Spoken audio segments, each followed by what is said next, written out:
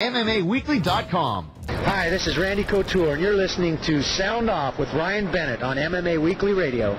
Was uh, was me talking about how difficult it was for me to watch you being carried out on a stretcher um, with with the eye thing from from the Ricco Rodriguez thing, and I remember thinking when I watched you uh, being carted off there, going by the media at the time, I remember thinking what what does my man have left to prove? He's he's done it all. He's been the heavyweight champ. He's been in some epic matchups.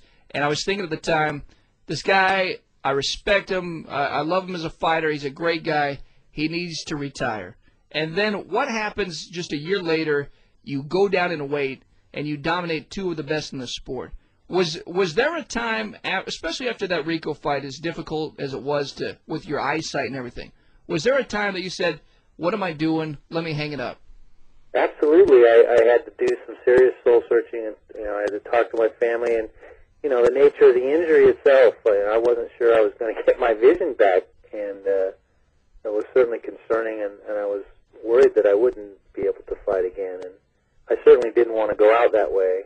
Uh, I wanted the opportunity to at least have a choice if I was going to compete again. And uh, fortunately for me, I did have that choice and was able to come back.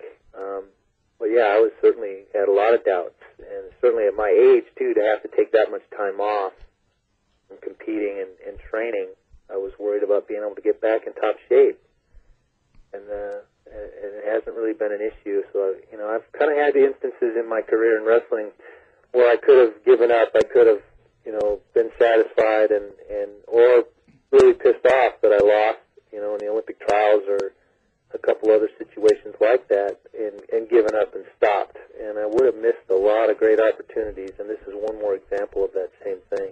I mean, it's incredible, man. I mean, it's it's it's it's a truly modern day inspirational story. I mean, it really is, especially for for the guys out there in the fight game. I mean, you just never know, and you've just taken it to another level.